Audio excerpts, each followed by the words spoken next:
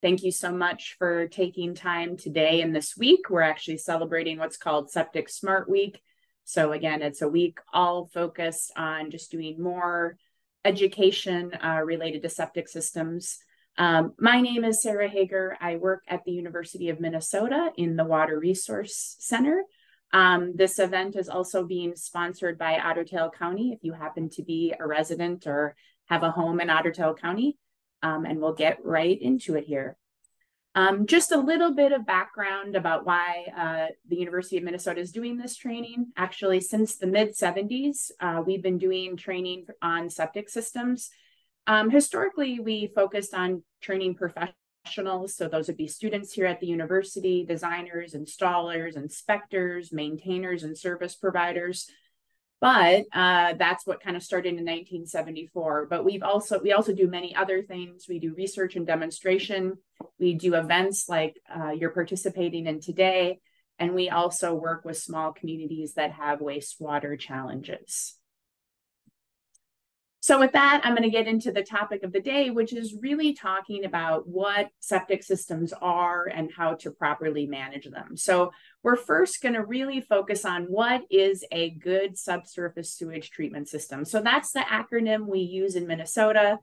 More generically, we often call these septic systems or on-site systems.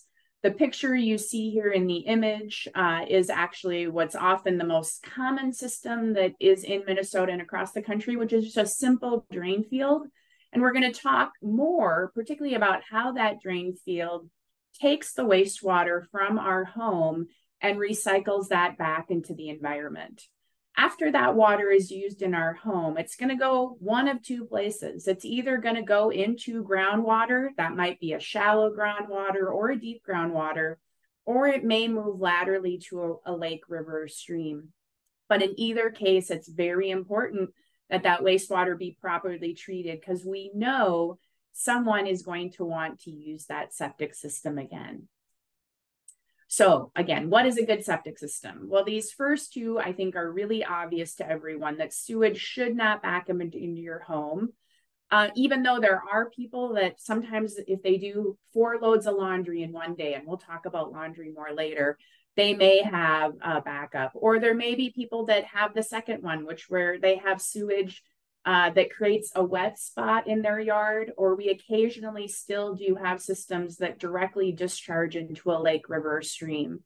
So, with both of those first two instances, there's the, the direct ability for humans to interact with that wastewater or other vectors such as mosquitoes or rodents that could carry that, or your dog who loves that stinky wet area to bring infectious diseases back into our home and spread contaminants more broadly. So the other two are a little harder to see, but the third one you'll see is that they have a watertight septic tank. So there's two reasons you may not or a property may not have a watertight septic tank. The first is in the 60s, 70s, and even in the 80s in parts of Minnesota and certainly across the country, we installed tanks that were designed to leak. Sometimes these are called dry wells or cesspools or leaching pits. Those do not adequately treat the contaminants before we reach that water we're trying to protect. The other type of tank that can be a problem is a tank that got damaged. Uh, so many of the tanks we use are made of concrete. Concrete can get cracks in it. Or if you were using a plastic or fiberglass tank, it could have gotten deformed and it's letting wastewater in or out. So those are problems. So we need to have a good watertight tank. And the last one is, is we need to have enough dry soil to treat the contaminants. So we're going to talk about organic material, bacteria and viruses and phosphorus. In order to treat all of those, we need to have soil that is not wet um, if it's wet, it tends to let the contaminants move with the water. So, in order for the soil microbes and the soil characteristics to either absorb or break down those contaminants, that soil needs to be unsaturated. We also know that bedrock or other limiting conditions are not going to adequately treat and disperse that water back into the environment. So, kind of walking through a little bit more about what's in your backyard every septic system starts with a septic tank. Um, and this is very similar to what a wastewater treatment plant looks like. Uh, even there, they have what's called primary treatment, where our, the primary goal of that septic tank is to settle things out. So things that you know are lighter uh, in density, so those would be oils and greases and soaps, right, are going to float to the top. Uh, heavier material is going to settle to the bottom. So it is then going to actually work in that tank to decompose organic material. So if you've ever smelt a septic tank, to me, they, it's a beautiful smell because what you're actually smelling is anaerobic digestion, that the bacteria, and those bacteria really start in our guts. And as we put our waste out into the system, those anaerobic microbes continue to break down the solids that are in that tank. Not everything is degradable, so the septic tank will also store some of those inorganic solids. So we'll look at a picture kind of coming up. Um, so here is a picture of a modern septic tank. This may not be what the tank in your backyard looks like. You may, for instance, only have one manhole. Your manhole may not come to the surface, but if you were to put in a new septic tank today in Minnesota, this is what your tank would look like. Again, the wastewater comes in from the home at the left or the structure, whatever, wherever you happen to be living. It could be a business. And there's a baffle on the way in. Again, the purpose of that baffle on the way in is to actually, again, um, make sure that the wastewater, so kind of here again, that the wastewater doesn't just short circuit the tank. We want it to travel down and have a good detention time in that tank. So in order for settling and that digestion to happen, we have we want several days that the wastewater is retained in this tank. You'll notice there's typically going to be a baffle on the way out of the tank as well. That baffle makes sure that that scum that is sitting on top of uh, the wastewater level at the top there uh, does not go to either whatever is downstream, which is more commonly going to be your drain field, maybe a mound system. So I mentioned those three layers. I'm just going to highlight again the scum at the top, the cleaner liquid layer of wastewater. And again, it's not clean when it leaves the septic tank, but particularly a lot of the solids that are present in wastewater are removed. And then finally, the sludge. And later we'll talk about maintenance, but over time, these layers get thicker. And that's really the critical reason why we need maintenance.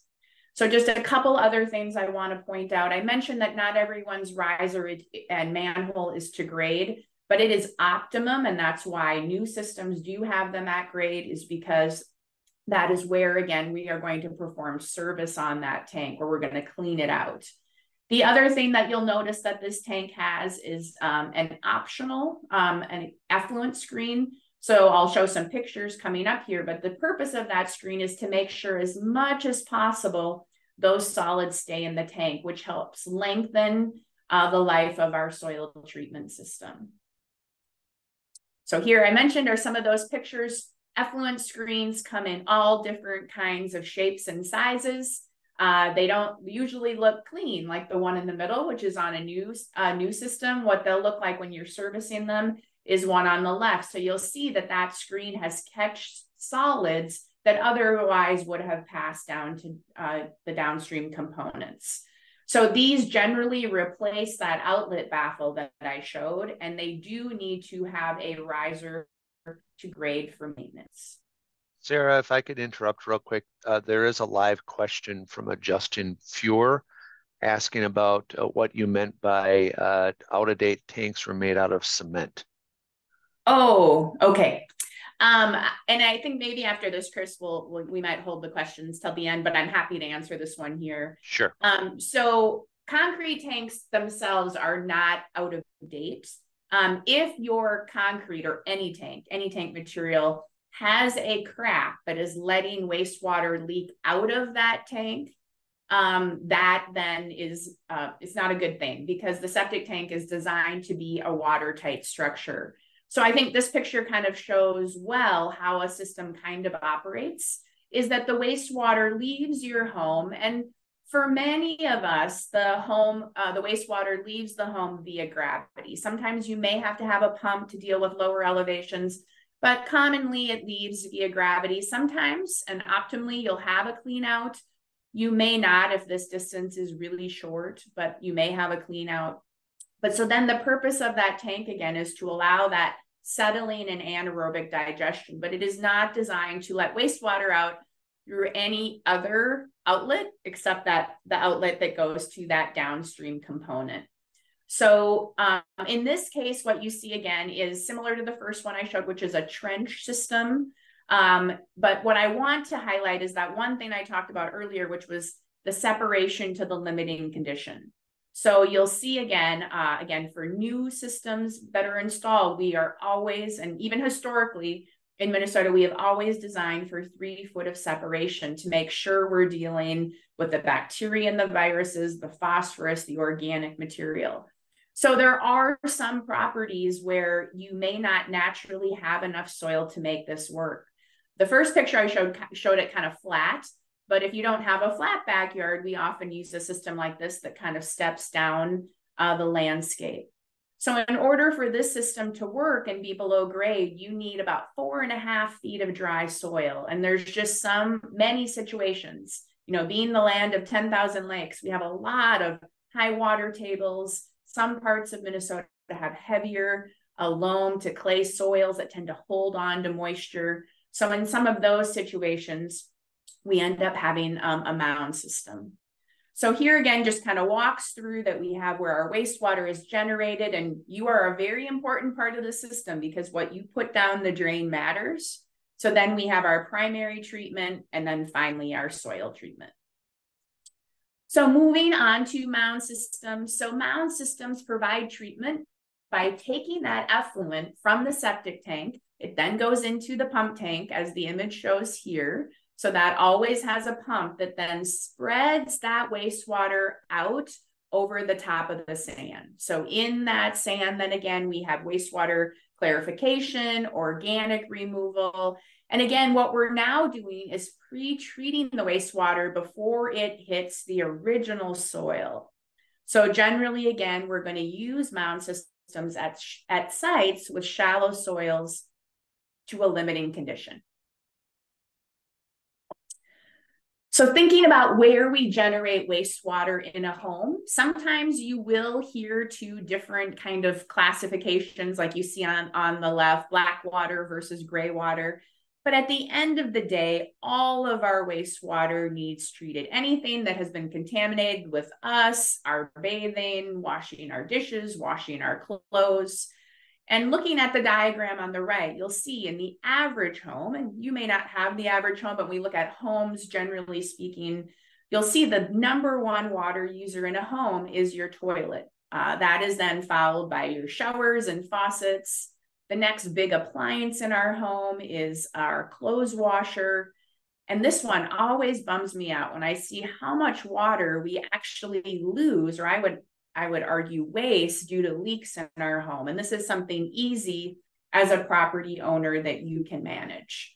The last one here again would be other kind of, you know, this might be using water outside your home uh, to like wash your car. This could be your water softener. So other uses besides our typical ones.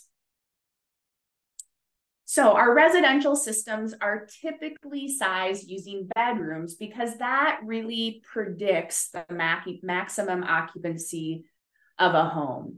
It doesn't guarantee it. Most people, it overestimates how much water we use, but there's always the exception to if you have multi-generation households, or let's say everybody comes and visits you over the 4th of July, you may be well beyond your occupancy. But assuming two people per bedroom, which is what our rules assume, uh, we use 150 gallons per bedroom. But we should always try to conserve water because if you look at the estimates on the right, if you're a, a typical person using 60 or 70 gallons per day, you'll see that you use 27,000 gallons of wastewater. You create 27,000 gallons of wastewater a year. Now take a home with three people in it. And I will just point that as you have more people in a home, your per person usage goes down a little bit. So a typical home with three people will use about 58,000 gallons of water a year. Now think about the area where your septic system is in your backyard. To me, that's a lot of water that that septic system is able to recycle back into the environment. And now, if you think about the community you live in, or maybe you live around a lake or near a river, um, or even in a small town, let's say there's 250 homes, that equates to over 14 million gallons of wastewater a year. So it's really important, again, that septic systems, um, you know, are properly working and properly recycling that water. And I do just want to note that as if you have questions as we're going through, please put them in the chat. It's good to ask them when you think of them. And we will have time at the end to answer any questions you put into the chat or any others that you uh, may have at the end of the seminar. So what do we add to the water? When you think about the wastewater that leaves our home, it's 99% water. So that 1% is what our septic systems and our wastewater treatment plants need to deal with. So we're going to talk about, and we're focusing on septic system today, how septic systems are going to remove the pathogens, the solids, how it deals with nutrients, and then the other things we put down the drain. So cleaning products, water treatment device backwash, medications, all of those things are also challenges for our septic systems to deal with. So first looking at pathogens. So these are the things that make us sick. So viruses, bacteria, worms, protozoa, they have the risk to cause disease within our bodies. So when we are sick, we are shedding those viruses and bacteria. And if we're talking about our septic systems, we're not talking about things that we sneeze, we're talking about things that pass through our digestive system. That is primarily in our excrement. So that excrement, if you think about it, is inside our bodies, it's in our guts. And those bacteria and viruses, we're used to living in us, which is, you know, we're we're pretty warm, right? Our inside of our bodies are 98 degrees. So when those bacteria leave our bodies, there's two challenges that our septic systems offer them. The first is temperature. It's much colder outside the human body.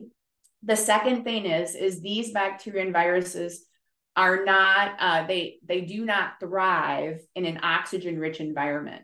So that's again why we design to have that soil die off and treatment occur in, in that three feet of unsaturated soil. So it is the number one reason why we have a three foot separation requirement is to make sure the viruses and the bacteria are removed. So moving on to the solids. So I mentioned there's two forms of solids. The first, again, are organic solids. These are both digested and undigested animal and vegetable material also, there are some organic solids present in artificial organic compounds and cleaners and other products we use in our home. So these organic solids require oxygen to be bro broken down. So if we put these out in the environment, so that could be in our septic system, that could be into a lake, the microbes are going to work to eat up that organic material. But in order for them to do that, they are going to consume oxygen. So we design our septic systems again to provide that oxygen.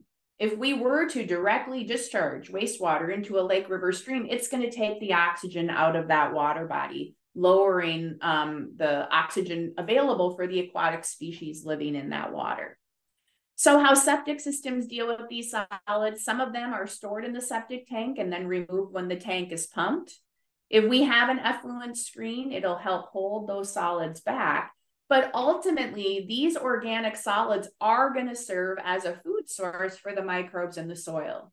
The soil is full of microorganisms that when we start spreading sewage out in the soil, they come to eat up that organic material. So we actually size how large the soil needs to be, that treatment area, to make sure that we're going we're going to be able to spread that organic material out at a sustainable level for the microorganisms to consume. Unfortunately, not all of the solids we put down the drain are organic. So when it's when they're organic, that means the microorganisms present in the septic tank and out in the soil can digest them.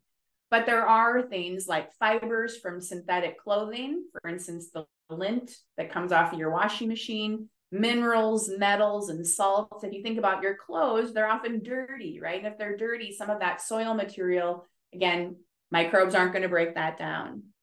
So the downside of these inorganic solids is they are inert, which means they cannot be decayed. If they make it to a water body, they can cause the water to be cloudy or turbid. And these inorganic solids also over time can cause the plugging of the soil pores. So out in your soil treatment system, that soil has only so much pore space. And if over time we fill it up with these inorganic solids, it can cause that system to malfunction. So we're not talking about something happening at five years. We're talking about how long do systems last? And really, that question is a very difficult question to answer because it's kind of at, like asking, well, how long do you drive a car for before it needs to be replaced? And well, that really gets to, well, how many miles do you drive? Do you take care of it? And those are really the two big factors with septic systems as well. So the more wastewater and the more solids that go out to your system, the less it's going to last. And that is also a function of how well you take care of your system. So we hope to hold as many of these solids back in the tank, but as I mentioned, over time, they may cause the soil pores to plug. So moving on to our nutrients, right? Nobody wants to swim in a lake that looks like this. So when we see a green lake, like, like that image shows, the growth of algae and weeds in lakes, ponds, and streams is really fed by how much phosphorus is available. Our fresh waters are phosphorus limited. The downside is this nutrient primarily comes from us. There can still be a little bit in household detergents, but we as human, we eat food that has phosphorus in it. We don't need it, so we excrete it in our urine. If you're putting undigested food into the system, that also may have phosphorus in it. Um, and finally, I mentioned small amounts in some household detergents, which we'll talk later about. We should do everything we can to minimize. The good thing about, again, our septic systems is that unsaturated soil, that three feet of unsaturated soil, really does a good good job at both absorbing and precipitating that soil uh, that phosphorus onto and in the soil. And the good thing is when that happens the, the phosphorus is basically stuck there. There are again soil and not all soils are the same. So not so all soils are the same as far as how much absorption capacity they have or their ability to make those precipitates so it's not to say everything's the same, but in general, our septic systems do a good job at removing phosphorus. Nitrogen can be a little bit more challenging. Again, nitrogen is a nutrient. Um, it also primarily comes from us, from both our urine and food breakdown, kind of same as phosphorus. It is present in some household cleaners and chemicals. Um, Ammonia-based cleaners would be the best example. Uh, the primary impact that nitrogen causes in the Midwest and in Minnesota, where we reside, is, is there's a federal drinking water standard for nitrate nitrogen of 10 milligrams per liter. So if we are putting excess nitrogen out into the environment and it's reaching again a groundwater source, it has the risk of contaminating that. Um, ocean environments are not phosphorus limited for their growth of algae and weeds. Like if you've ever heard about the red tides of algae in Florida, those those waters are nitrogen limited. So they actually grow more weeds and algae when there's excess nitrogen. So how we deal with nitrogen in septic systems is different systems remove different different amounts of uh, nitrogen. So we primarily put out to the soil ammonia nitrogen. And then we often go into an aerobic environment, which converts that into nitrate. And again, this is a lot of chemistry, and I'm not going to get into all the details. But some systems, particularly mound systems, create an environment where that nitrate can be converted to nitrogen gas, which is called denitrification, which is nitrogen gas is no problem out in the environment. But there are other systems that may not adequately convert all of that nitrate into nitrogen gas. And so that is one of the biggest reasons why we have well setbacks, why we don't put a septic system right next door. But there are systems um, in sensitive areas, um, sometimes larger flow community systems where they actually are going to need to do advanced treatment to, to lower that nitrogen level below that federal drinking water standard of 10. So the last uh, topic is chemicals, and this is probably one of the more challenging areas and areas that we are doing more research on, is to really measure and quantify um, how our wastewater treatment systems are dealing with cleaners and medications. I mean, I think about when I was a kid, what was in the medicine cabinet and what was below the sink. And there's just a lot more products going down the drain. And what we're finding is, is we're finding many of these emerging contaminants out in the water. So whether that be groundwater, whether that be surface waters, and at low levels, there have there's been research showing um, some of these emerging contaminants can affect our aquatic food chain, impacting species reproduction and even being found in people's drinking water sources. So the first and foremost thing is to think about what we're putting down the drain. But some things, again, if you think about that you need to be on a medicine, you need to be on a medicine, right? So some of those are going to be stored in the tank until they're pumped. And as I mentioned, we are gathering more and more information that many of these contaminants are being removed out in the soil, uh, but not all of them. So. With that, we'll now move into, so that's kind of our overview of the most common systems we see here in Minnesota and how they perform. I do want to highlight there are other systems out there, systems in particular that have what I would call advanced pretreatment. So the septic tank is our one form of pretreatment, right? It's pre-treating before the soil. But there are other systems that further treat the water before it goes out to the soil. So aerobic treatment units, media filters, they're not super common. They're usually used to overcome challenges. But when you have a really small parcel, or you might have a cluster system going in for a group of homes, there are times when those systems again um, uh, are, can are needed to deal with challenging situations. But with that, we're going to move on to how do I take care of this septic system in my backyard? So, first and foremost, you want to understand what you have. Do you have one tank or do you have multiple septic tanks? So, sometimes people have several tanks in series. Do you have an effluent filter? Do you have a pump? So I mentioned mound systems have pumps, but sometimes even uh, regular drain fields or trenches have pumps. Um, pumps, again, are long lasting devices. Many of us have wells with pumps in them, same thing, right? At some point in time, though, that pump will need to be replaced.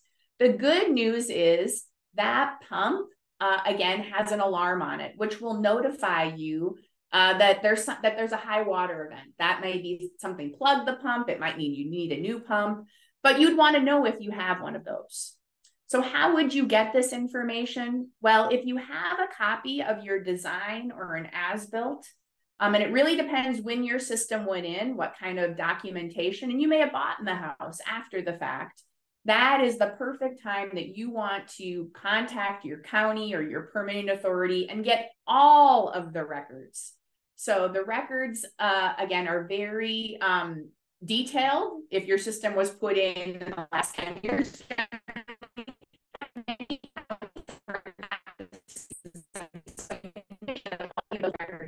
may not be as detailed.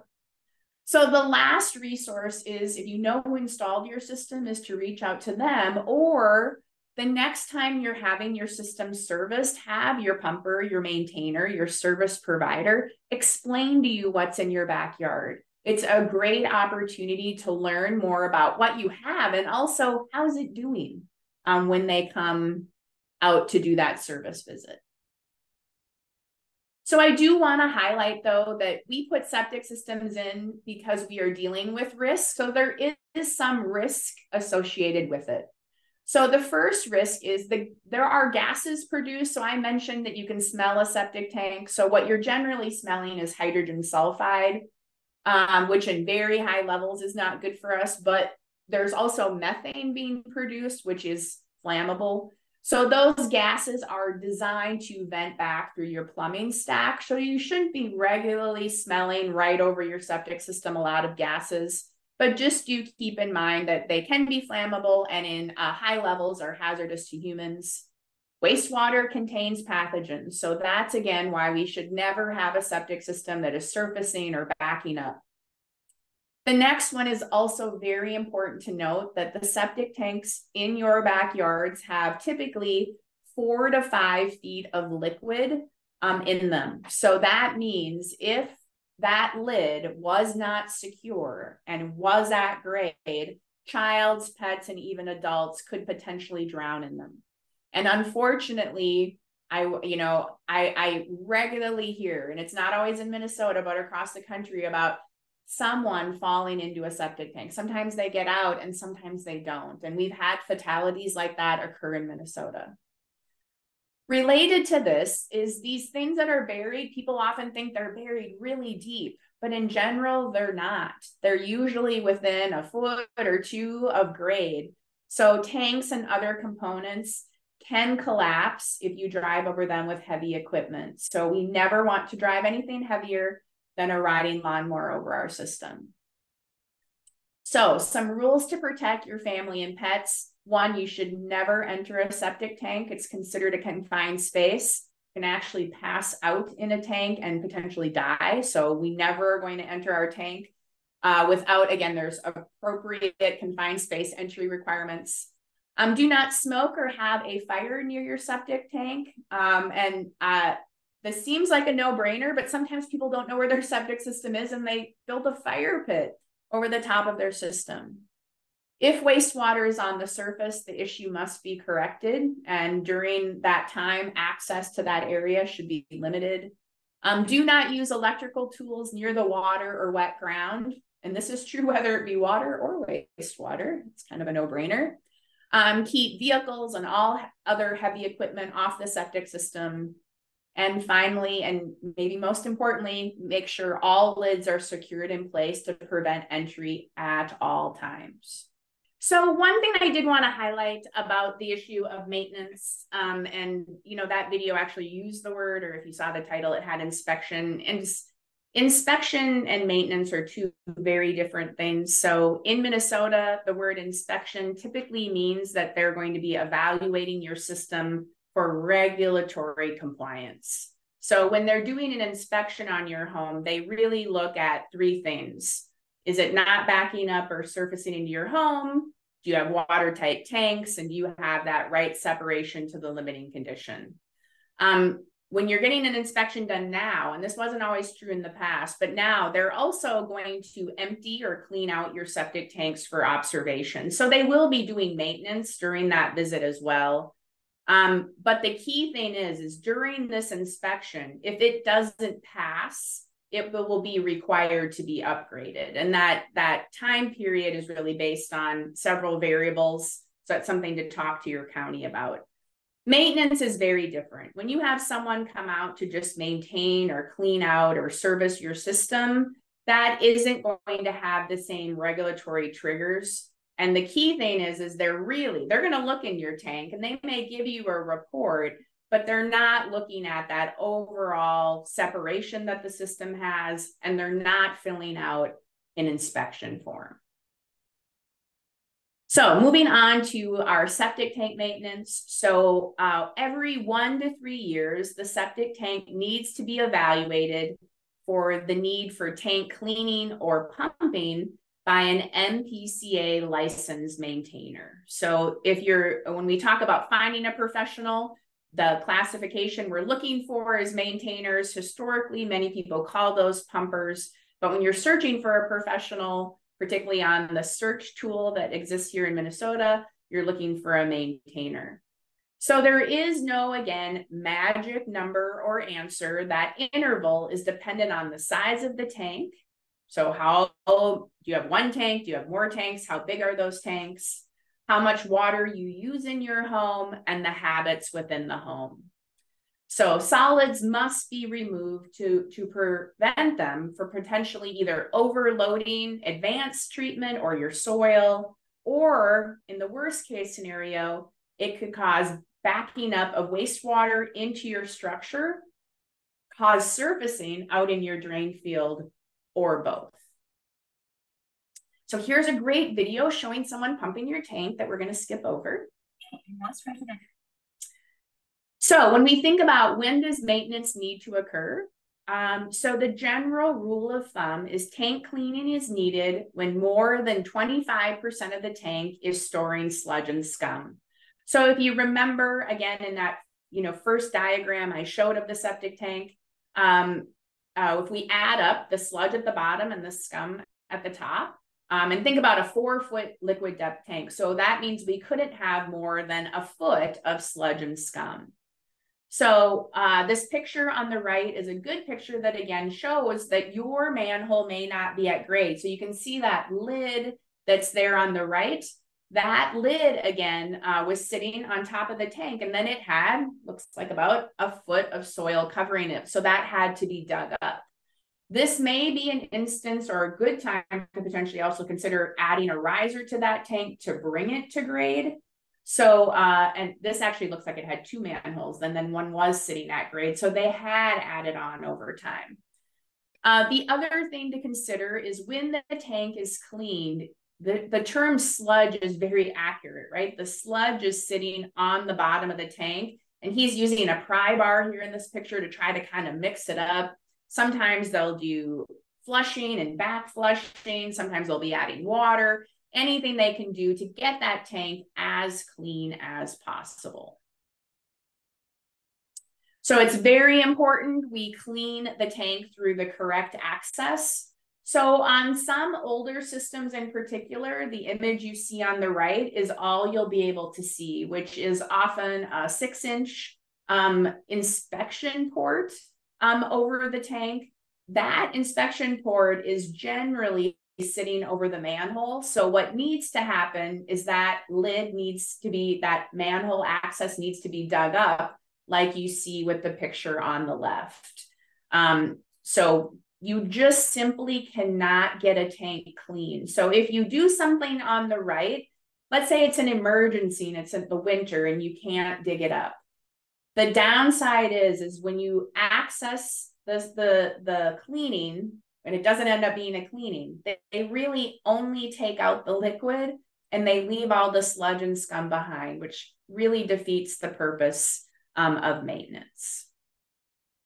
So if you're cleaning a screen, uh, like we see here, uh, you notice he's cleaning the screen right back off into the septic tank. That's what we want to do. Uh, it's ideal, again, uh, that that screen certainly be cleaned when the tank is being serviced but some people will need and want to clean their screen more frequently. So, such as every six months, some people will do it in the spring and the fall. And in that instance, it's better to wash that screen off at the front end of the septic tank. So, those solids that we're washing off the screen don't directly go to a downstream component. So when your tank is being serviced, you should be getting a report. And again, this report is actually required in Minnesota regulations. Some of the most critical information on that report is the amount of sludge and scum. So how dirty was your tank? And I actually encourage you to be there and kind of talk to the maintainer when they're visiting your system. Maybe, maybe you need to have your tank pump more frequently than you thought. So, are there any problems with your system, such as tank leakage, any safety concerns, any troubleshooting or repairs that are needed or conducted? It's kind of like when you get your oil changed and they do their 12 point inspection. You know, they can even be walking over your drain field um, and really giving you an overall feel of how your system is performing. So, if you're not getting a report, if you're just getting an invoice, I would encourage you to ask for a report and again, be on site when that's occurring. So what about additives? So I'm convinced that if you went to your local hardware store, big box, small box, doesn't matter, uh, they'll be selling septic system additives. But to date, we have no third party research that supports their effectiveness. And the fact of the matter is, when you use your septic system, you are adding bacteria, again, a you know, if you take a cup of wastewater, it has over a million microorganisms in it naturally. And you and your family are the feeders. So there's lots of food present in our wastewater. And the potentially the most concerning one is cleaners. So cleaners, and again, uh, have the risk of taking the stuff that was sitting on the bottom and actually putting it into suspension, which is certainly problematic. So how would you go about hiring? So maybe you do need someone to clean out or service your system, or maybe you need an inspection. So in either case, I'd always recommend people talk to their neighbors and friends, find out who they had a good experience with. And this is true of if you need a new system installed as well. Um, if you go to the MPCA website, they have a search tool. The address is very long. So if you just Google MPCA SSTS license search, you can pick what kind of septic professional you're looking for and then a county do keep in mind that many people do not, that's the county they live in. Most people in this industry do not just work in the county they live in. So you can certainly look at nearby counties as well. And then if we're specifically looking at a maintainer, you may want to ask them, do you pump through the manhole? Do you have a sludge judge? That's the device that brings up that profile of the tank. Do you back flush? Do you recommend additives? We often go to the last one, which is how much does it cost? But keep in mind, cost between many of these services is a small, it's a small difference. And knowing that your system is getting properly serviced um, is much more important. So finally on maintenance is record keeping. So um, some jurisdictions require that a report submitted to them when service is performed.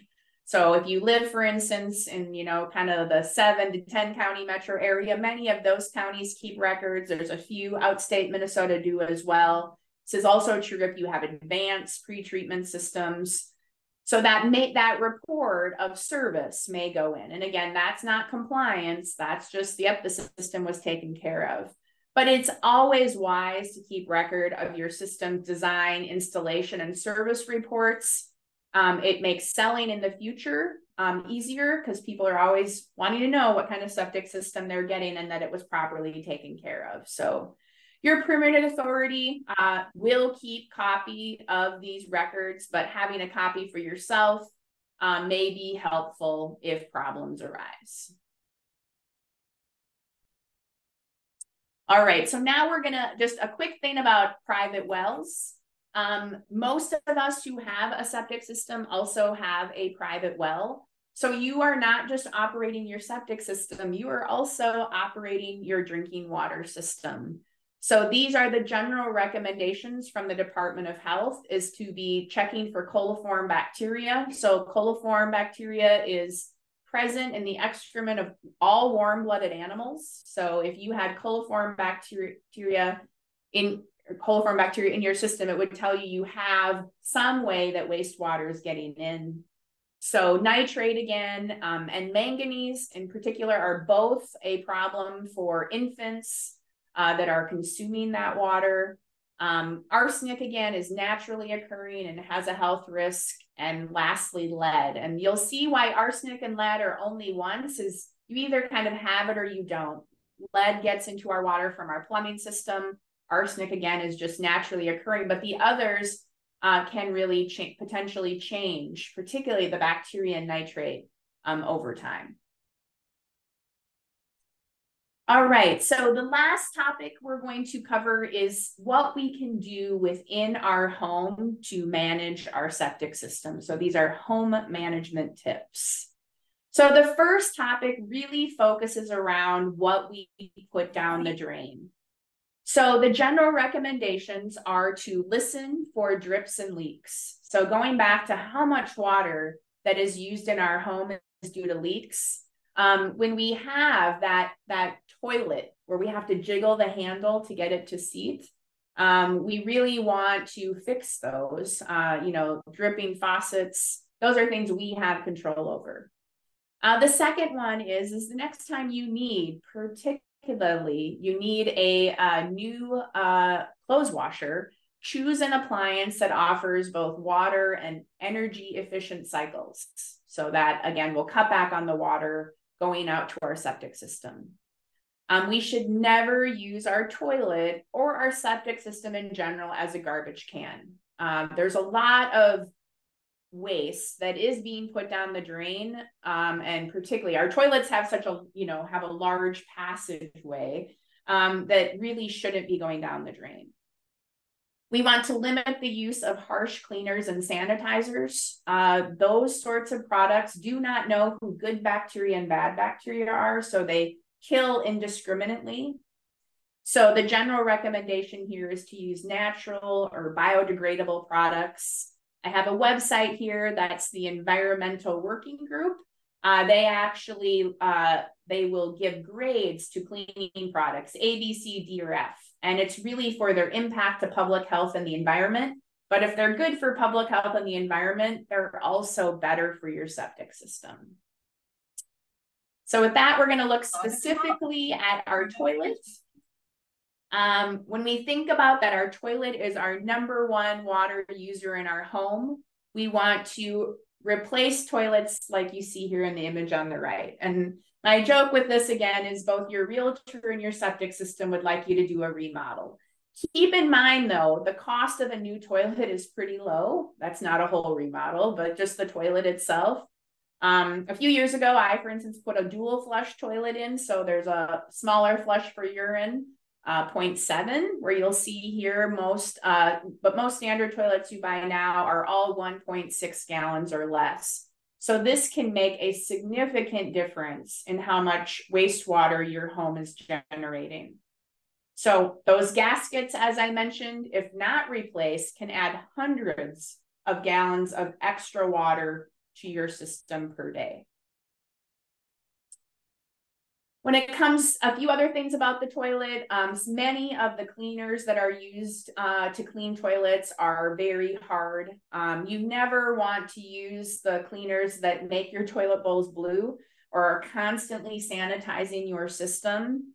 Um, so using a small amount of cleaner with more elbow grease is the general recommendation. Um, we are only going to put toilet waste or human waste and toilet paper into our toilet. So you can see there's a long list, Kleenex, Q-tips, cigarettes, certainly all of the sanitizing wipes. Those things do not break down. And so they just persist and cause problems within our septic system. If we want to cut back uh, even more on water usage, uh, using uh, showers use less water than baths. So that's one thing to consider. Low flow fixtures use less water. Um, we do want to avoid also within our shower using daily cleaners. So there's sprays, for instance, that recommend after every shower you spray. Uh, the do- downside of those is they are adding, um, again, a sanitizer and also also what's called an emulsifier. So that mildew, that stuff that would kind of build up in your shower, it tends to move that off your walls, but it also has the risk of moving it through your septic system. You want to avoid antibacterial soaps, good old fashioned bar soap. You use less of it and it does the job just as effectively the takeaway is the less soap and cleaners, the better. Uh, that's true for our septic system. It's also true for the environment in general. So if you have a clogged drain, you first really want to think about how did it get clogged? Um, if you have you or yourself or people in your home longer hair and soap, it can be a magical thing that clogs up drains. So we need to try to catch as much of that before it goes down the drain. So in showers, tubs, and laundry. So buying inexpensive metal or plastic drain screens can really help. When drains do plug, it's often in a trap below the sink. So that's where we can take it apart or, or use a plunger or snake. If it's further downstream, that's where, again, we're much better off to have a professional come out and figure out where the problem is and clear it versus putting a nasty product down the drain that really could negatively impact the microbes out in our system. So moving on to laundry. So uh, you'll see the image on the right. So a front loading washing machine uses 65% less water. There's also efficient top loaders if you really don't want a front loader that also, again, we should be shooting for something that uses less than 20 gallons per cycle. The nice thing about these, they also do not have an agitator in them when they're uh, front loaders like these. And the agitator causes more lint to come off your clothing, which we'll talk about here in a second. The other benefit with a lot of these newer models is they use the uh, they get the clothes drier, so you actually save money on your dryer because you don't need to run it as long. So we do want to run full loads whenever possible and as much as we can spread out that the laundry across the week. So if you can do a load a day, if you had seven loads in a week, much better than Saturday laundry day, because uh, then we're putting a lot of water out within a relatively short period of time. So moving on to that lint conversation. So we all have lint filters on our on our on our dryer, right? Well, believe it or not, more lint comes off in the washing machine. And that's because we're literally typically agitating our clothes and running water over it. So a lot of that lint then passes out with the laundry water. So you may consider adding a washing machine lint filter. Uh, and this shows in that person's hand, which came out of that device in the back is just a filtering device. It's not all just synthetic lint, right? There can be all kinds of things that, you know, are on our clothing that that filter will catch. So you can try a simple screen on the discharge line, or the other recommendation is to purchase and install an aftermarket lint filter. I wish washing machines had lint filters in them. That would be great. Maybe someday we'll have those, but uh, that's very uncommon right now. So a few other things about laundry, limit the amount of bleach you do uh, or bleach you use and any other sanitizing product. There's actually now laundry detergent that's been marketed over the last few years that that is sanitizing. Every load has a sanitizer where in general that is not needed to get our clothes clean. Um, you want to avoid inexpensive powder products that contain clay. So uh, clay can be used as a filler in laundry detergent, but the problem of clay is it tends to not settle and pass through the system. The other thing to think about with detergent here is how much detergent do you need? So I remember the last laundry detergent I bought, right? It's a big container. It says it does 100 loads, but it has a really big cap on the top. It's almost hard to figure out how much to put in. But usually, particularly if you have soft water and the newer, more efficient washing machines just don't need as much soap. The less soap out to our septic system, the better. Uh, we do not recommend the use of liquid, in particular fabric softeners, as there's some anecdotal evidence that it may affect a tank's forming those nice three layers we talked about. So things to use instead that are more natural is baking soda or vinegar, dryer balls, which kind of kind of soften your clothes and beat around in your dryer. And if you have a lot of static, an aluminum foil ball will help with that issue. So moving on to our kitchen. So the general recommendation here is to run a full dishwasher. Um, that has been found in research to use less water than washing in the sink. But if you do wash in the sink, you also don't want to be running the water. You want to fill it up, right, to wash and a little rinsing, but not rinsing everything as you wash it. Um, make sure the detergent you use in your kitchen is phosphate free it is banned. Phosphorus is banned in laundry detergent, but there's still some other soaps, anything that causes bubbles, soaps or surfactants that have uh, phosphorus in it. So just make sure you're not using phosphorus here. Um, in your sink, you want to scrape your plates into either a compost bin or the garbage, fix your leaks, and fats and oils are always solid waste. They should never be going down the drain. Um, other things to conserve here, uh, thaw your food in the refrigerator versus using running water. And then if you have a garbage disposal, uh, you really want to use it as minimally as possible or not use it at all. Um, the downside of garbage disposals is you're going to add more food out to your system. That undigested food has not gone through our digestive system. Our digestive system takes you know, big things, right? A piece of broccoli and breaks it down into small proteins. So, um, and carbohydrates, right? So the things that end up out there are much smaller and easier to further degrade in the septic tank. The other challenge of garbage disposals is we do chop everything into little pieces and those pieces don't settle out as well.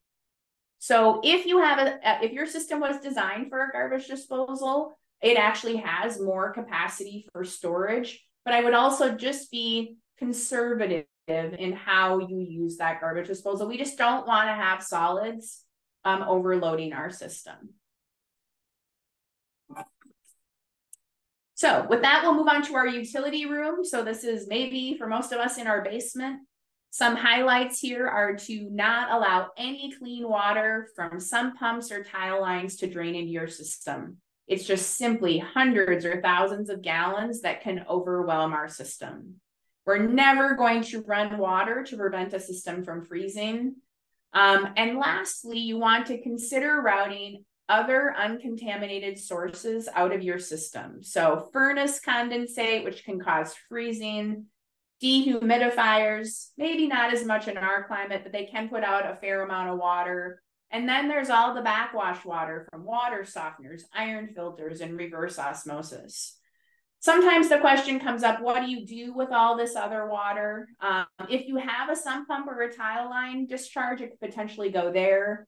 Um, otherwise, the challenge for many people to get this other water out is they often have to put in some sort of sump to get it out of their basement. Um, it, these things cannot run directly into a lake, river, or stream. So if you're running them out on the surface, it can, you know, particularly the salt from your water softener um, can kill your grass. Uh, but there, there's nothing necessarily wrong with it going on the surface as long as it doesn't, again, go into a lake, river, or stream. While we're in that utility room, I just do want to hit on hazardous waste. So this would be, you know, paint products, anything else in your home that would go to your hazardous waste that's, you know, a liquid. Um, those should never go into our system. Um, there's a good resource here, and you don't need to necessarily write down this address, but if you literally are, if you have a lot of unused medicine and you go to the FDA website, they actually have a search tool where you put in your zip code and it tells you the closest location that will take back those unused medicines. All right, so out to the soil treatment system. So outside your home, and I just love this picture, right? So this is a downspout, right? Coming from someone's either inside their house or sometimes from roofs. I've seen these too. We never, if you think about your tank lid there, want to add extra water in the area of your tank. Again, that tank should be 100% watertight, but we can see right in that picture, right, that there's there's a joint there and there are other joints within our system that can potentially let water in. So we don't want a lot of water running to that area. So we want to make sure there's no treated water from pools or hot tubs going into the system because that has sanitizer in it. Make sure our roof drains run away from the septic system and never park vehicles or boats, you name it, anything heavy over the top of our system. So I mentioned that the soil has aerobic conditions. So that means there's oxygen in the soil. The way the oxygen gets into the soil is the air we're all breathing is 21% oxygen. That oxygen and that air diffuses into the soil. So if we compact or drive over the top of that system, the air won't be able to get there to create those aerobic conditions. In addition, it can also close the pores so water can't move through it which is also not positive for our septic systems.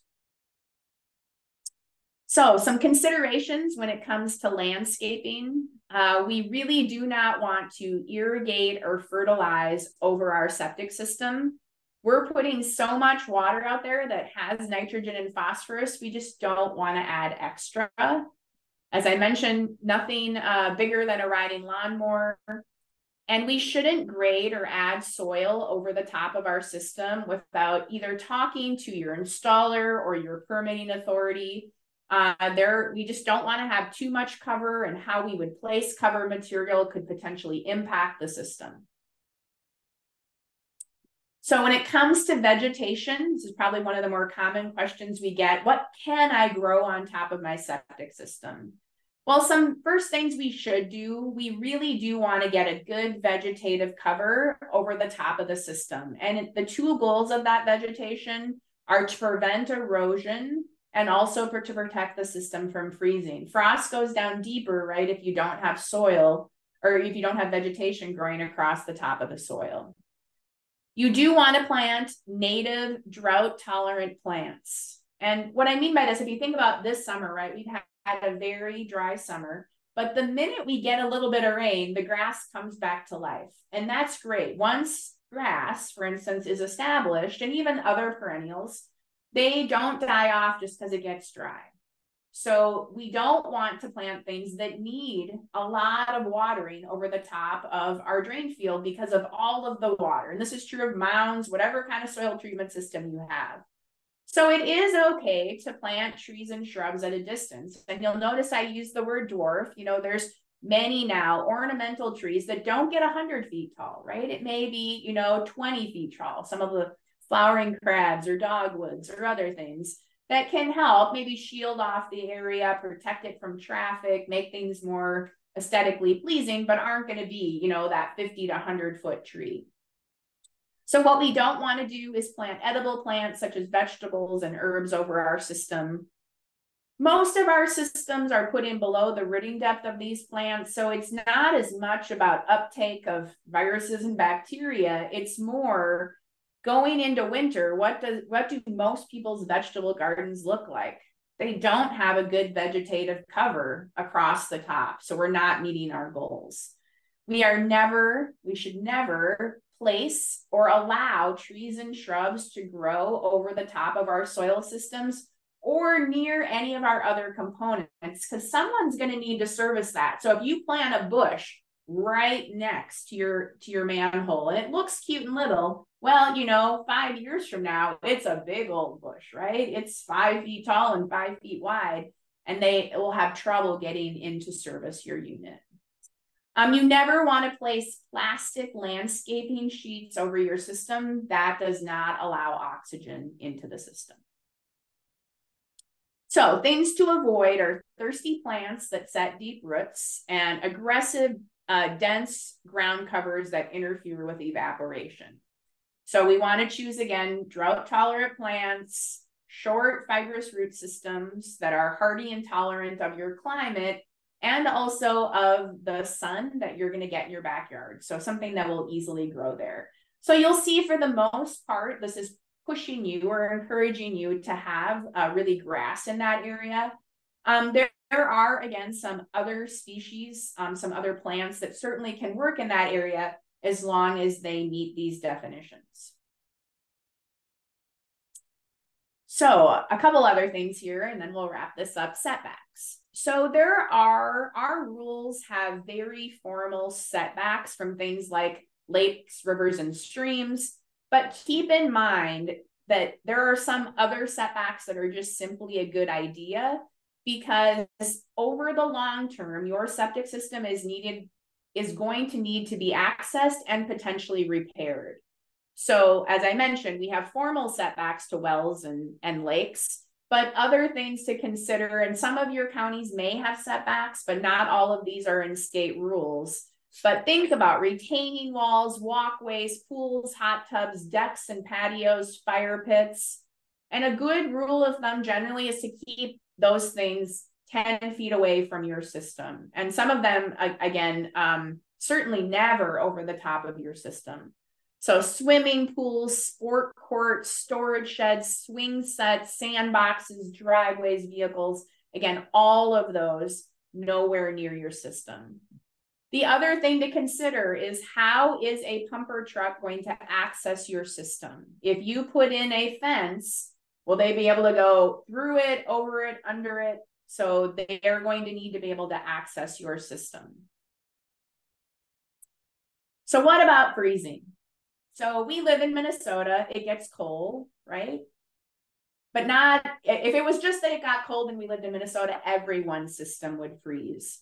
So if you've had freezing issues with your system, um, you really want to identify why did it freeze. So was it one of those winters where we don't get any snow cover and it gets bitter cold?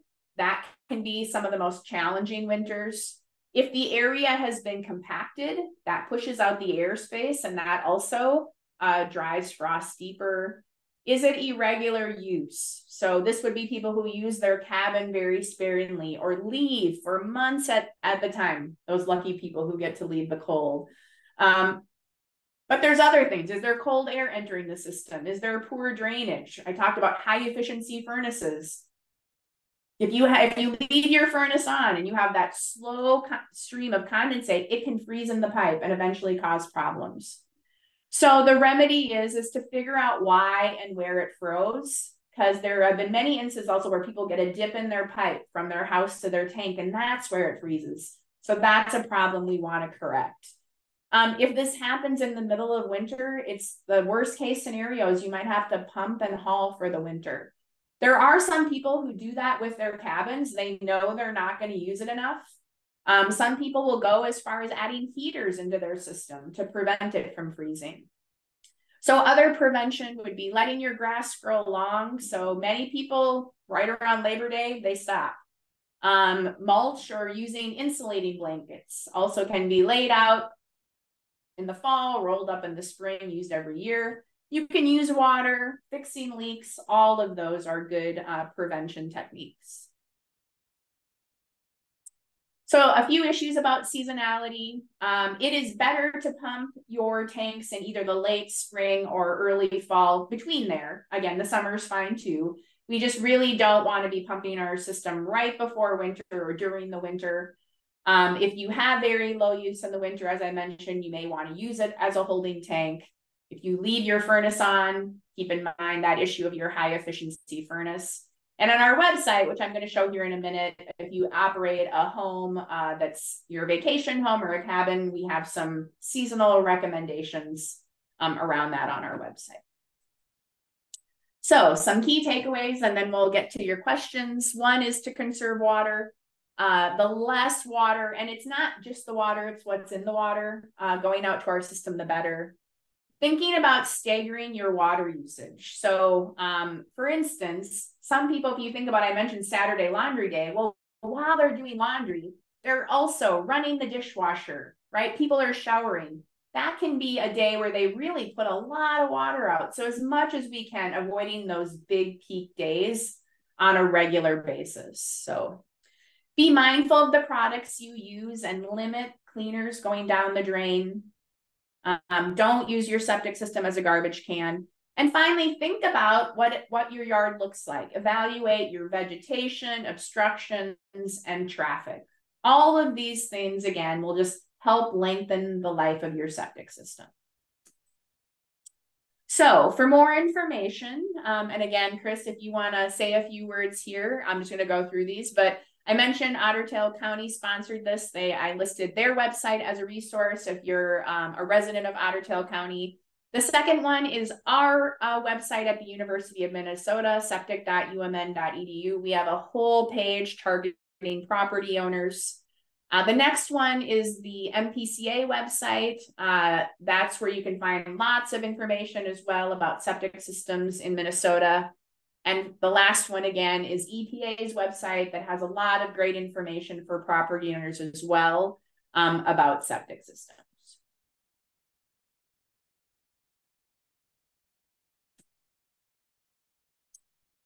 So with that, uh, we can certainly answer questions. And as I mentioned, Chris, if you have anything to say uh, locally about Otter Tail County.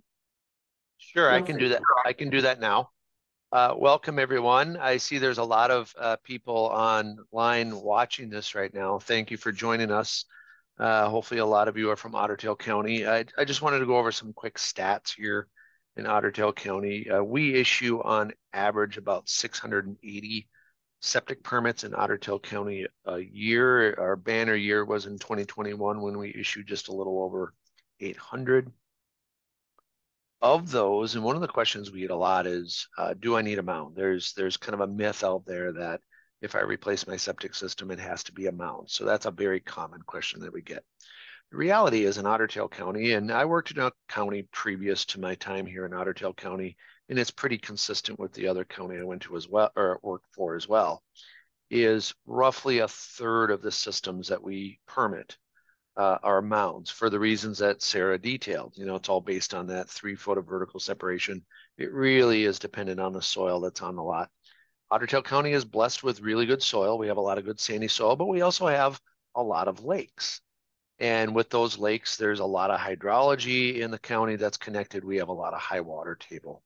The other most common system that we see, uh, given that we live in lakes country, uh, we have a lot of seasonal residents. Our population quadruples in the summertime is we have a lot of seasonal cabins or homes on a lake that are just on a holding tank, and that is allowed in our ordinance. And that makes up for roughly about 30% of the systems. Uh, our, our compliance inspections, we do require compliance inspections at certain times. Uh, uh, the most uh, frequent would be uh, when you sell your home. You have to get your, your septic system looked at. Other triggers that would uh, require the county to have you look at your septic system is when you come in and pull a permit or apply for a variance. And we are pretty consistent with the rest of the state with our compliance numbers. Roughly three quarters of the systems that get inspected when they sell their home are passing. Uh, we see about 25% of the compliance inspections that we get uh, coming back as non-compliant, and we require upgrades of those systems. And finally, uh, Otter Tail County also has financial assistance. If a resident of Otter Tail County uh, is required by the county to replace their septic system, we have uh, financial assistance in two forms. The first is a grant that we get from the state every year. Uh, that is uh, income based, so you have to be low income to qualify for that grant, and it's basically free money. We we we uh, pay uh, up to five thousand dollars, or fifty percent of a system, up to five thousand dollars of of money, and that's on a first come first serve basis. We usually run out of that money around July. Uh, we get enough traction with that program that about eight to 10 people a year take advantage of the grant program. The other uh, financial assistance we have is what we call a septic or a SSTS loan program. We get a grant from the state. Basically, the county pays for the cost of your system, and then we put that uh, cost on your property taxes, just like a street assessment or a sewer assessment if you're on city sewer. And uh, you pay that off in your property taxes over 10 years. Currently, that's at 0%, but the money that funds that program uh, ends in April of next year. We are currently re-upping that grant, and we met with the state last week. Uh, unfortunately, they have to start charging interest. Uh, so after April of next year, anybody who gets a loan from the county will have to pay a nominal uh, interest rate. I think it's like a percent and a half. So it's still pretty cheap, but it's a way to defray the cost of a septic system over a decade. Uh, that's kind of a brief update or, or uh, a synopsis of what Otter Tail County does with septic systems. And at this point, if you have any questions regarding what I said, please put it in the chat and I'll address those. Thank you. Thank you, Sara. Yep, I'm gonna start going through questions here. Um, and I meant, I'm gonna send something to you, Danielle, if you can, oh, here's everyone. So the videos that I was going to share, I just put in the general chat to everyone. So that's the EPA. Uh, so all the videos that I kind of skipped over today. Um, uh, and we had thought we had troubleshoot this before it started, but I don't know why the issue came up today. But I'm going to get to your other questions. So plantings near a drain field, and I know some of these are going to be have been a little answered, but I think people are wanting to know specifically about distances. So um, a rhubarb plant is much easier to me. Like, so as long as the rhubarb plant isn't over the system, it, it, can be closer than our general, than trees. Trees are a little different. Trees send out much uh, roots um, at a much further distance. So, uh, so I would say the rhubarb, I if I were going to put a vegetable garden in tomorrow, how close would I have it? I'd say I'd keep about a five foot barrier between there and just think about traffic, particularly to your tanks too that you don't really want them tromping through there. Um, as far as trees again, um, then you're looking at more that I would say 20 plus feet, um, just to provide a buffer between there. Um, so the next one is how does a small household living in a big house impact septic system maintenance? So um, if you live in Minnesota, again, your system um, has to still be looked at every three years, but it does not need to be cleaned. So generally people, when people have systems that are designed for much larger homes and have low occupancy, you, you may only have to get your tank. But so let's say you're having it looked at every three years. It may only need to be pumped every six years.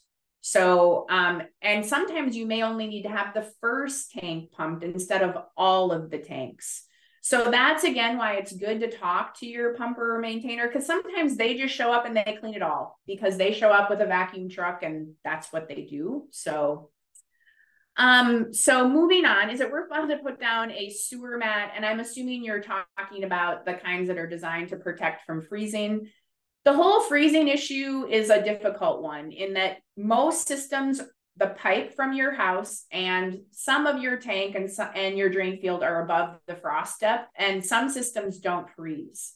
So if you're having freezing issues between your house and your tank more often than not there's a problem with that pipe and you should fix it because there's usually a dip in that pipe because they're all designed to slope.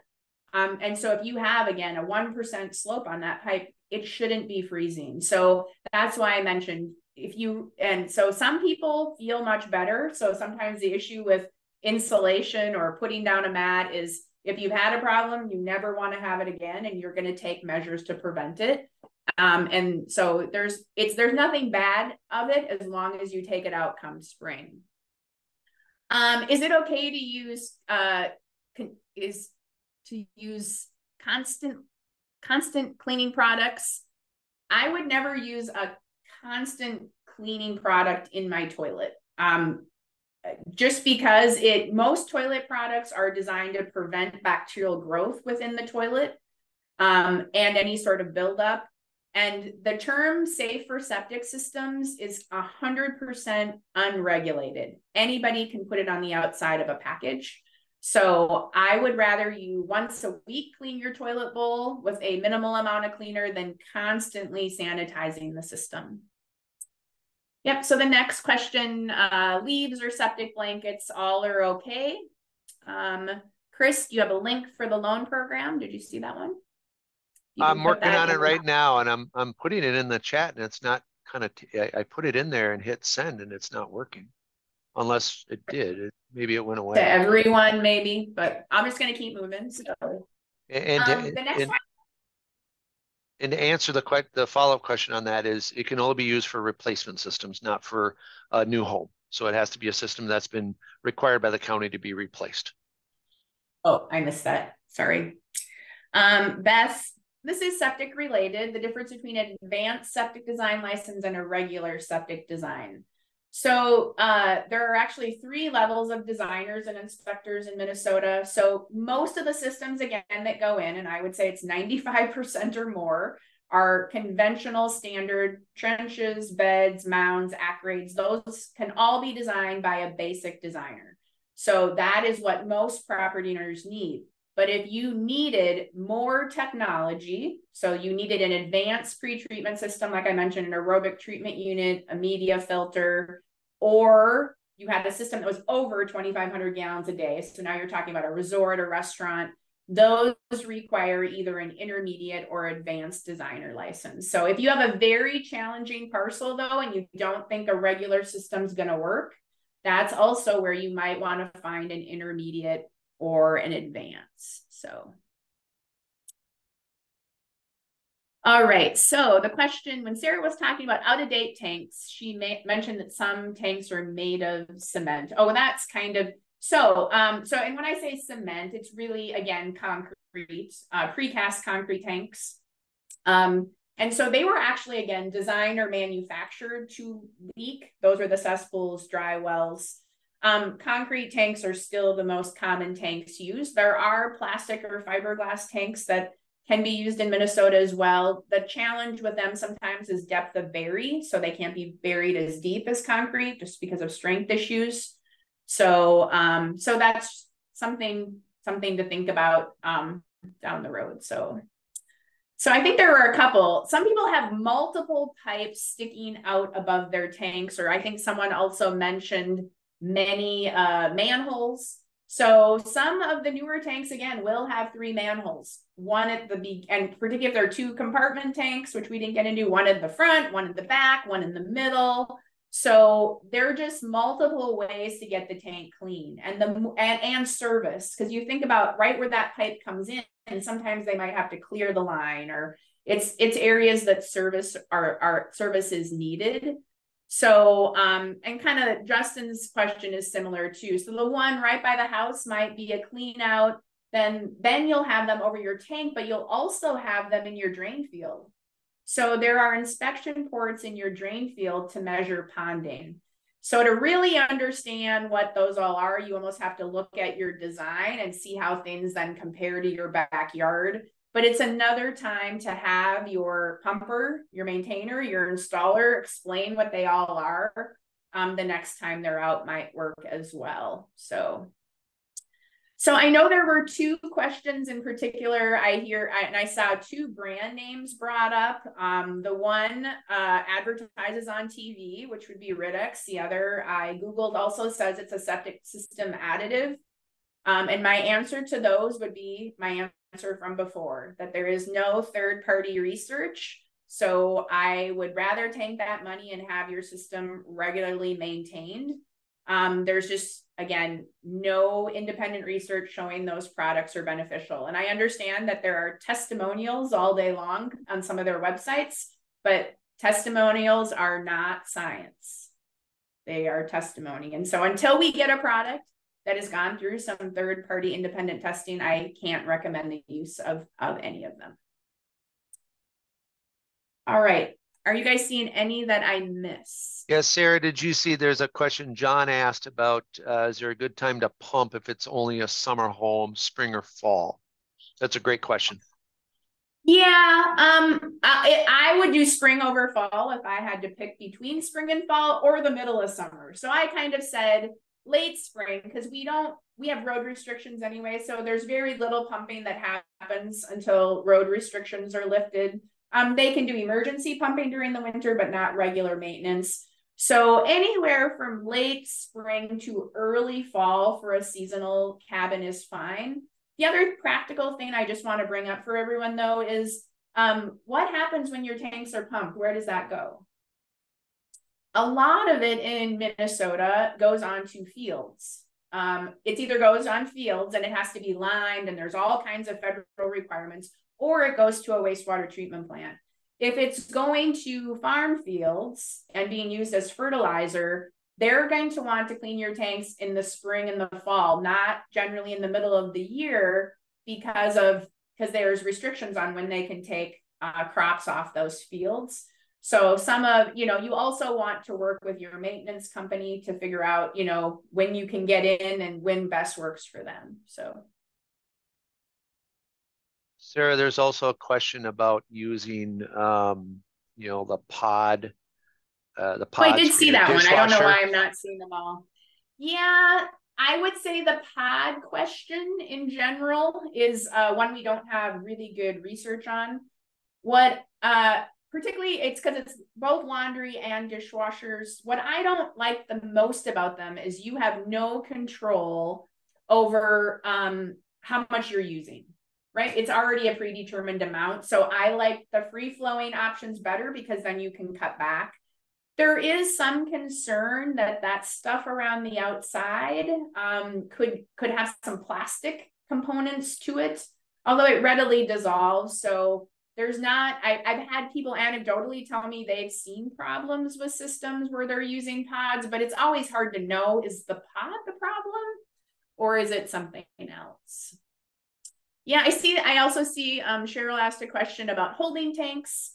Um, maintenance with holding tanks is just a little bit more straightforward because every time that holding tank fills up, you're cleaning it out. So um, there's not a whole lot more to maintaining your holding tank.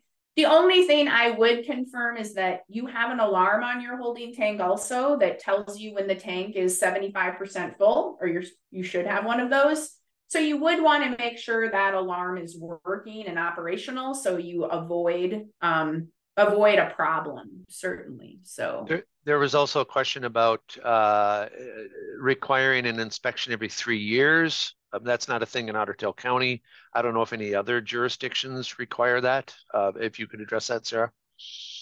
Yeah, I am not aware of a jurisdiction that requires an inspection. And this really goes back to the definition between inspection and maintenance. So there are jurisdictions that require maintenance and require your system to be serviced, but not an official compliance inspection. So Chris kind of went over some of the more common triggers between, you know, to, to get a required inspection. Uh, so that's often you're adding a bedroom, you want a permit, some counties you want to sell, but that's not typically the case. So, so I do see more. I didn't have them all open. So John, can I build a new drain field over an old one?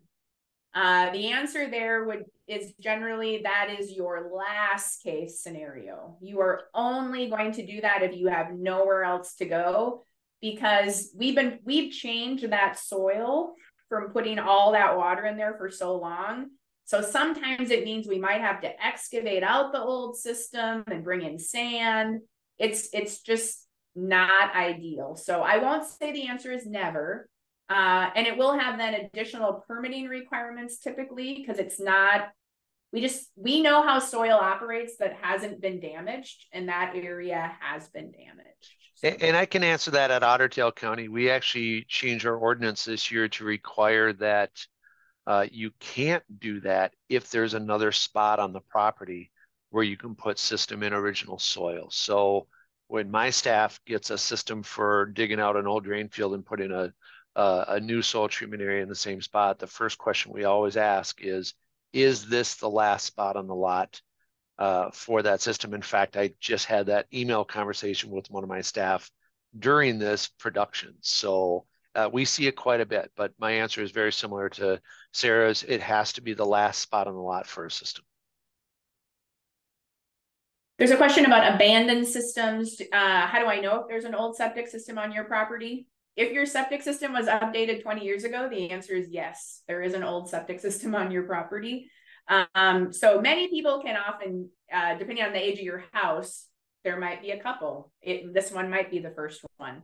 So generally, when a septic system is abandoned, uh, the tank is crushed and left in place and filled, and the rest of the system is just left there. They are typically not dug out unless you are going to put something else. Like let's say you're going to build a building there, or but generally they are abandoned um, in place. And the only way you would know if your system froze in the past would, would be as if it was disclosed during property transfer. So most people's systems do not freeze. So I don't want everyone to be worried, but it just is a question that that tends to come up because it seems like every five years or so we get a really tough winter in Minnesota that tends to find mistakes also that have been made over time. So I just wanted to um, to address that.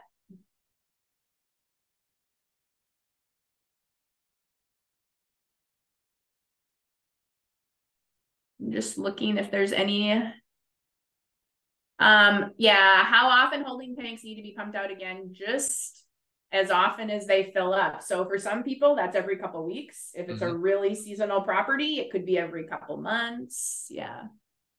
There, there's a question about uh, you know, particular or specific concerns about seasonal homes, if you want to address that quick, because we see a lot of those in Otter Tail County. Yeah, I did um, respond um, to that with uh, our seasonal website too. I just want to get to a couple of these others at the end. I know we're at the end of time, so you guys can certainly uh, uh, go on your merry way if you have other things to do. So if too much water enters a system at once, does it cause overflow or untreated what problems? So let's say I mentioned the 4th of July and you have everyone you know over to your house. Your septic system works that day, uh, unless you have a, a problematic system. So they can handle occasional peaks. What tends to happen during that time period is your soil treatment, your, your septic tank may get stirred up a little bit, so the settling may not be as good. The other thing is out in our soil treatment systems, there is some storage. So there's different distribution media that's used out there, rock or chambers or other things, and that can hold several days worth of water. So if too much water, but if you do that every single day, you will significantly decrease the life of your system. But if you do it for that occasional time, you have a lot of people over or a lot of out of town guests, um, that's not being a problem. So, yep. And I know it was shared. This is going to be um, uh, posted to our website. Um, and I don't know if that went in the general uh, conversation, uh, Dana, but maybe one of you can drop the location that the recorded webinar will be. So yeah, I'll be sending so out an email. Okay. Um, a mound system has to be either 50 or 100 feet from a well, depending on the well depth and casing. So it depends if it's a shallow well or a deep well. So, oh, the search tool. Um, uh, maybe uh, Clayton, you can drop the search tool exact link into the chat for uh, finding a septic professional.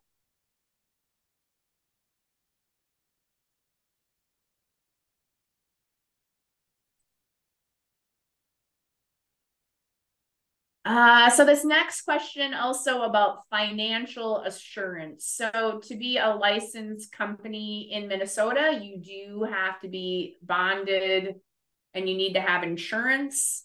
Um, I am not aware of any other further financial assur- assurance uh, that is uh, required to be licensed in Minnesota. So those really are the two primary requirements is bonding and, and general liability insurance. Oh, the question, Justin, about additives. So since we don't recommend additives at the University of Minnesota, um, I uh, if they are going to be pushing additives on you, um, that would be a company you might consider hiring another company. And, if they do suggest an additive, the question would I would ask them is do they again can they provide you third party independent research about the product's effectiveness?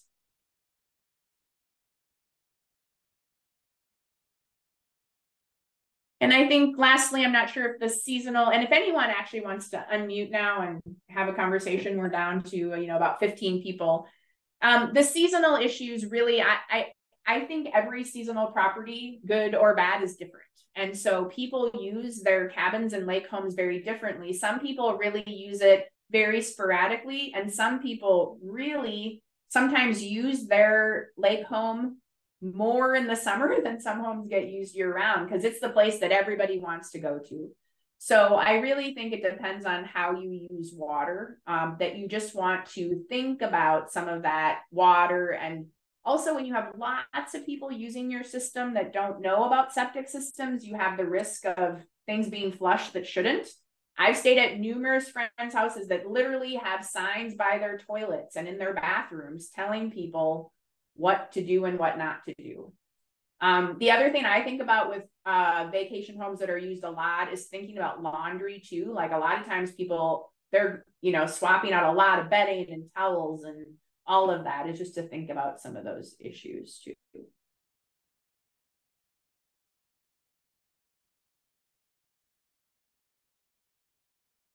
I'm not seeing any other. Does anyone else have any other questions to address? No, and I've already received an email from one of the participants offline that emailed me a question. So if anybody from Otter Tail County, if we missed a question or you think of something after we end this um, uh, production, if you think of something, please don't hesitate to call me or or email me. Always happy to answer questions. Go ahead, Jody. You can unmute yourself if you'd like. Well, I just wanted to share. I like that. I, I am. I'm a new um, a relatively new um, homeowner with a septic system.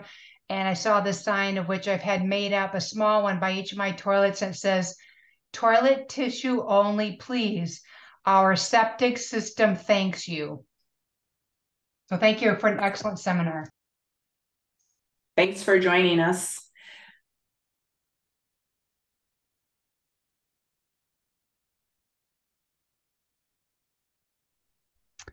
I have seen that um, also on the EPA Septic Smart website. They do it like in their um, content page. There is some printable flyers like that that mention that same thing. You know, just please only you know flush toilet paper, no wipes or anything like that. And I thought those were.